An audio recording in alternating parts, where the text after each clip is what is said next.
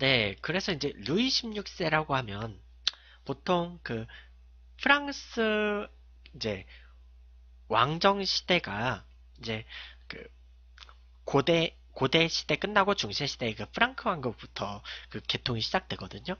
이 프랑크 왕국의 정통성은 사실 네 프랑스예요. 그 나중에 이제 샤르마뉴 죽고 나서 그 3개국으로 분열이 되는데 그 3개국이 프랑스, 이탈리아, 독일의 시초이고요. 근데 이제 정통성은 사실 이제 프랑스예요. 프랑스로 쭉 이어져 오다가 음 이제 계속 그 왕정을 가다가 드디어 이제 프랑스 혁명을 통해서 이제 뭐냐 공화정 정부가 들어가죠. 근데 프랑스의 처음 공화정은 그 혁명 정부는 대통령제는 아니었어요. 음. 그러다가 이제 나폴레옹의 통영정부 시대를 거쳐서 이제 나폴레옹의 제정시대, 나폴레옹 1세. 그리고 다시 이제 왕정으로 돌아갔다가 빈체제 때문에 그리고 이제 프랑스가 다시 입헌 군주 왕정을 세요. 7월 왕정이라고 하는 입헌 군주 혁명이 한 번 일어나. 근데 그것으로 이제 성이 안 차가지고 이제 다시 혁명을 일으키는데 그때서야 프랑스는 대통령제로 가요. 근데 이제 프랑스 첫 번째 대통령제 선출된 사람이 나폴레옹 1세의 조카가 나폴레옹 3세거든요. 음. 근데 이 나폴레옹 3세가 이제 나중에 다시 잠깐 황제가 되잖아요.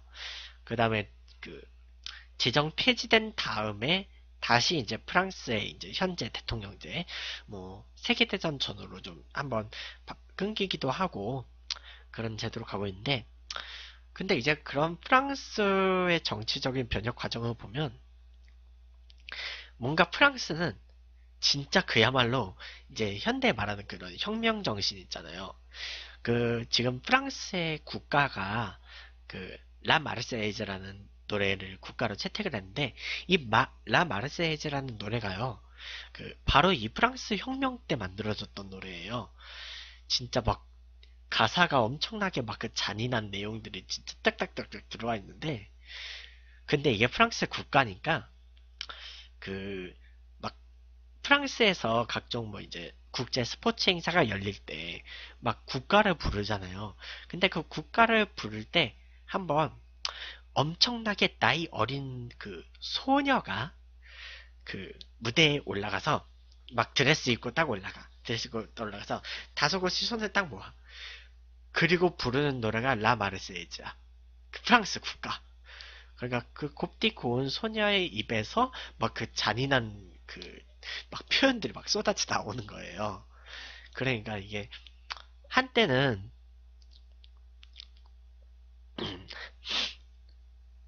한 곡 들려줘요. 아, 그럼 그거는 이따가 찾아서 한번 들려드릴게요. 지금은 약간 그 프랑스 국가 얘기하고는 조금 관련이 없기 때문에. 음. 어쨌든. 그래서 이 루이 16세 같은 경우는 이제 루이 15세의 아들이 아니고 손자예요. 그래서 그 손자가 루이 16세가 된 이유는 원래 루이 16세의 아빠는 루이 페르디낭이라는 그 황태자였어요. 태자였는데 그 엄마는 그 독일 황제의 손녀였어. 외손녀. 그러니까 당시 유럽 국가들은 서로의 그런 서로 막 왕국이고 어디는 왕국이고 어디는 왕국이고 막 그러잖아요. 당시 그때까지는 이제 독일은 신성 로마 제국이었는데 그 서로 약간 그 왕과 혈통을 좀 더막그좀 권위 있게 하기 위해서 막 그런 거 있잖아요. 영국의 권위 있는 혈통, 아니 뭐 권위 있는 귀족 순수한 혈통, 루이 윌리엄스 세바스찬 주니어 3세 뭐 그런 거 있었잖아. 그 임혁필 씨. 어쨌든 그런 것처럼 서로의 그런 가문의 힘을 좀 더 올리기 위해서 왕족들은 왕실, 왕, 왕실은 또 왕실하고 결혼했던 그런 사회이기도 했어요. 뭐, 옛날에 그 하도 이제 왕국들이 많다 보니까 왕족들끼리 국제 결혼이 많긴 했는데, 음, 근데 문제는, 이제, 여기서 루이 16세는 셋째 아들이었어요. 그래서 어릴 때는 베리 공작이었는데 그 형이 원래는 그러니까 왕위 계승 서열이 그렇게 확실하진 않았어요. 그런데 문제는 어릴 때 형이었던 루이 조제프가 그 암에 걸려서 죽은 거야. 그 시대에는 이 암에 대해서 그렇게 뚜렷한 치료법은 없었거든요. 당시 이제 유럽도 그때까지는 아직 그 외과 수술이 활성화되지가 않은 시대였거든. 음. 외과 수술이 좀 약간 활성화된 거는 한 그 다음 시대일 거예요. 왜냐면 이때 시대까지만 해도 그 막 수술이 없진 않았는데 이때는 마취제가 쓰이기 전이었거든요. 그래서 그 당시 그 비슷한 시, 대나 그 좀 그 뒷시대에 있었던 그 뭐냐 찰스 다윈이 원래는 의사 집안의 권유로 의대에 들어갔다가 그 마취제도 쓰지 않는 그 수술 장면을 너무 끔찍한 거야. 그래서 의사 되기를 포기했다는 설이 있었어. 이야기가 있었어요. 그러니까 그런 정도의 시대였기 때문에 암은 일단 충분히 못 고친 걸로 알고 있어요. 음, 제가 요즘 그 찾아서 다시 보는 드라마 중에 태조왕건에서도 그 뭐냐 최응이 막 몸 이곳저곳에 암세포가 퍼져서 그렇게 죽는 얘기가 나오거든요. 그러니까 암은 그 당시에는 진짜 죽음의 병이었어요.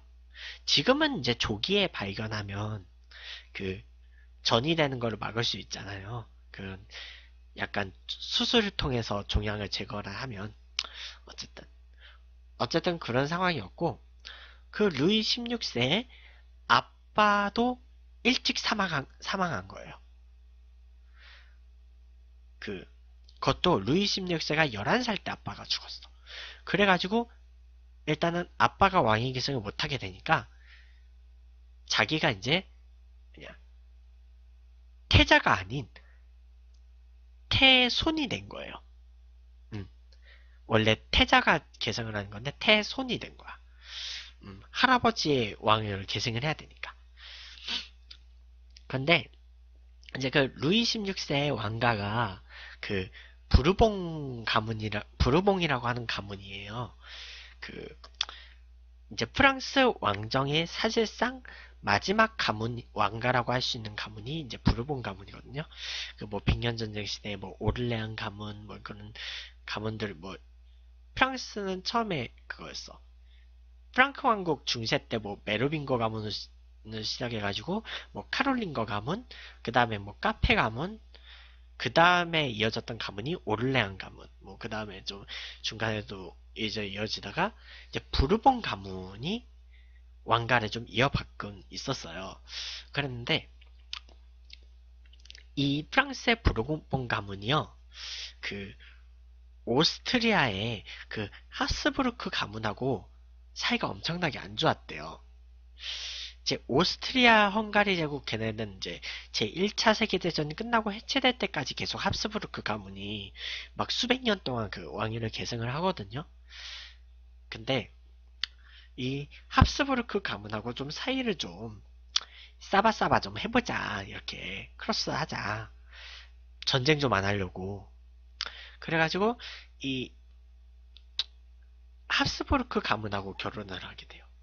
그래서 이제 그 루이 16세가 결혼하게 된 여자가 그 유명한 마리 앙뚜아네트야. 응. 마리아 테레지아의 딸이었고 이 마리 앙뚜아네트하고 정략적 그 결혼이 된 거예요. 음. 원래는 그 마리 앙뚜아네트가 그 루이 16세의 형하고 결혼하기로 돼 있었어요. 근데 문제는 형이 암으로 일찍 죽어버렸단 말이야. 그래가지고 이 정략결혼 상대가 루이 16세로 바뀐 거예요. 어쨌든 그래서 그 이제 결혼을 했어요. 근데 뭐냐 문제는 이 루이 16세하고 마리 앙뚜아네트가 그 처음에 부부 관계가 그렇게 좋지는 못했대요. 그 결혼 초기에 부부관계가 그렇게 좋지는 못한 이유가 그 하필이면 그 이 루이 16세하고 마리아 앙떼아나타하고 결혼했던 그 시기에 루이 16세가 고래를 잡았던 거예요. 그 고래 고래를 그 시기에 잡은 거야. 그래가지고 그냥 그래요. 의학 용어로는 이제 포경 수술이라고 하는데 그 포경 수술을 하필이면 그 결혼 그 결혼 그 결혼 전후로 하필이면 그 수술을 받았나 봐요. 그래가지고 그 수술 후유증으로 이게 그 중요한 부분이 막 아팠던 거예요. 그 당시에는 마취제도 없었다 그랬잖아요. 음? 마, 그, 마취도 안 하고 고래를 잡았다는 거야. 아, 잔이네요? 아니, 근데 이제 그 당시에는 좀 약간 의학적으로 그, 그 시대는 그런 게 좀 있었어요. 왜냐면, 그, 가톨릭 구약 성경에서는 유대인들을 거의 그, 뭐냐, 할례를, 유대인들이 거의 할례가 거의 그 정리화돼 있었잖아요. 근데 프랑스가 국교가 가톨릭이었어요. 그러다 보니까 약간 그런 거에 의해서 좀, 아, 마누라 생각도 안 하는 놈이에요. 어쨌든. 그러니까 내가 보기에는 자기가 그때 하고 싶어서 한 거는 아닌 것 같아요. 아마 그 왕가에서 좀 약간 어느 정도 나이가 성장을 했을 때 시킨 것 같은데 그러니까 되게 어릴 때 결혼을 했단 말이야. 1754년생인데 결혼을 그 1770년에 했어요. 10대 중반에 했단 말이야. 그러니까 한 그 당시 의학으로는 그때 이제 약간 그런 청소년기 왜냐면 우리의 지금보단 약간 성장이 그 더뎠을 수도 있잖아요. 지태님 얼굴 빨개요.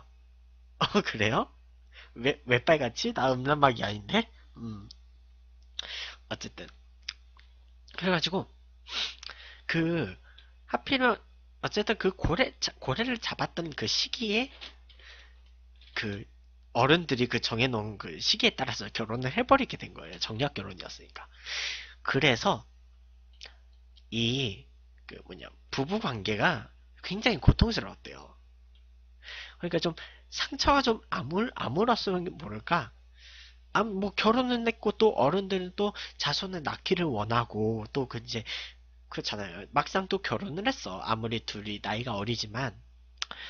그러니까 루이 16세가 1754년생이고 마리 앙뚜아네트는 1755년생. 한 살 차거든요. 그러니까 서로 연령도 비슷한 그 음, 애들끼리 음, 약간 이제 둘 다 뭐 성욕이 한창 그 왕성해지는 시기에 결혼을 하다 보니까 어쩔 수 없어. 관계는 또 해야 되잖아. 근데 그 관계가 이, 이 뭐냐 고래를 잡은 그 남자도 아프고 그 마리 앙뚜아네트도 아팠던 거야. 그러니까 둘이 이제 하는데 아프잖아. 어? 근데 이게 그 약간 그런 약간 기분이 좋아지는 그 아픈 그게 아니고 수술 후유증을 아픈 거다 보니까 이 마리, 마리 앙뚜아네트가 남편을 좀 싫어하게 됐대요. 이것 때문에. 채팅방에서 10대 성격이 왕성해요. 그렇게 물어보시는데 왜냐면 이제 한 10대 중반 그때 결혼했잖아요. 그 둘이. 한 뭐 15, 16, 뭐 그때 결혼했는데 그때 약간 이제 서서히 그런 약간 그런 사춘기가 오는 시기에 약간 그러니까 약간 뭐야 조금 약간 미성 약간 미성숙한 그런 시기에 결혼하잖아. 그러니까 뭐 근데 이제 두 왕 그 부르봉 왕가하고 합스 합스부르크가 뭐두 왕가가 이제 지켜보고 있으니까 자손은 또 낳아야 되잖아. 그러니까 어떻게 좀 한 거지. 근데 그게 이제 수술 직후였다 보니까 되게 아픈 거야. 응. 그런데 그 어쨌든 그다 그런데 문제는 그 결혼한 지 한 4년 정도밖에 안 돼가지고 루이 16세가 즉위를 하게 돼요. 이게 왜 그러냐면 루이 15세가 천연두에 걸려서 죽은 거야. 하필이면 그, 시, 그 시기는 아직 그 제너가 종두법을 발견하지 못한 시기예요. 어, 우리나라에선 지석영이 이제 들어와서 이렇게 했는데 그 이제 몇백 년 전에 그 유럽에선 그 제너가 발견해서 종두를 실시를 하거든요. 하여간 근데 그 종두가 발견되기 전이어가지고 그 당시까지는 천연두는 걸리면 죽는 병이었어요. 당시 그 우리나라도 그 뭐 마마라고 불러가지고 천연두가 진짜 죽음의 병이라고 고치기 되게 힘들다 그랬거든요. 어쨌든 그래서 1775년에 루이 16세가 즉위를 해요. 근데 지훈님 어서 오세요. 음. 그랬고 이제 마리 앙드와네트하고 이 결혼 생활이 근데 그 뭐냐 어쨌든 되게 그게 그 부부 관계가 되게 왕성하긴 했나 봐요. 그래가지고 그 진짜 젊을 때 1778년에 마리 테레즈 딸을 낳고 1781년에 루이 조제프를 낳아요. 아들을 낳는데 일찍 죽어. 그리고 1785년에 또 루이 샤를 루이 17세를 낳는데 또 일찍 죽어. 아니, 얘는 프랑스 혁명 직후에 죽어. 일찍 죽어 근데. 그리고 또 1786년에 소피엘렌 베아트리스다. 또 일찍 죽어. 음. 그러니까 무려 그 젊은 시절에 무려 4명을 낳아요. 그 루이 16세하고 마리 앙뚜아네트하고. 어?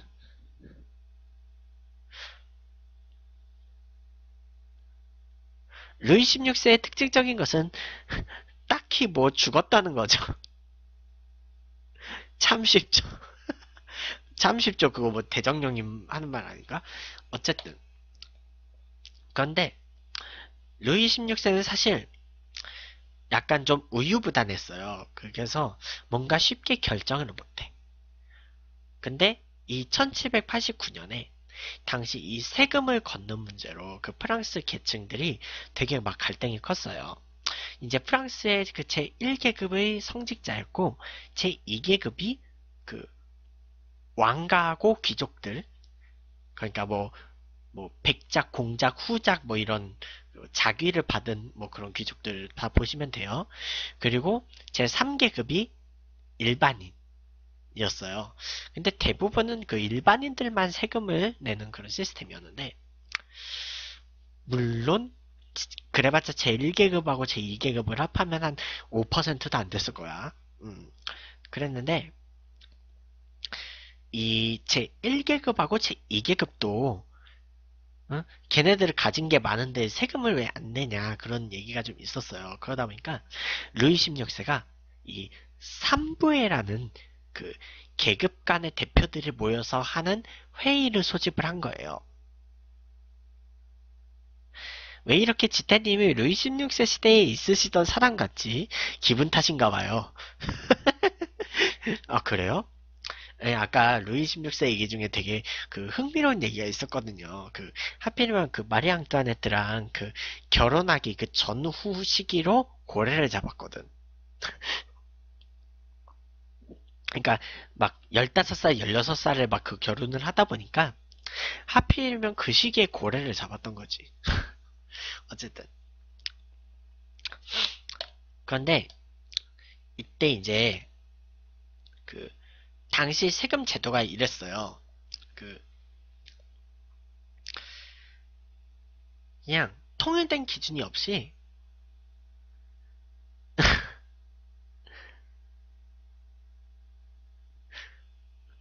아, 뭔 뚱딴지 같은 소리냐고. 그 루이 16세가 그 결혼하기 그 전후로 그 고래를 딱 잡아버린 거야. 그것 때문에 그 마리 앙뚜아네트하고 결혼하고 나서 이제 부부 관계를 해야 되는데 썸띵 썸띵을 해야 되는데 그게 이제 하다 보니까 아팠던 거야. 하다 보니까 아파가지고 마리 앙뚜아네트가 이게 루이 16세를 별로 좋아하지 않았대요. 하면 아프니까. 응. 근데 애는 또 4명이나 나왔어. 음, 어쨌든.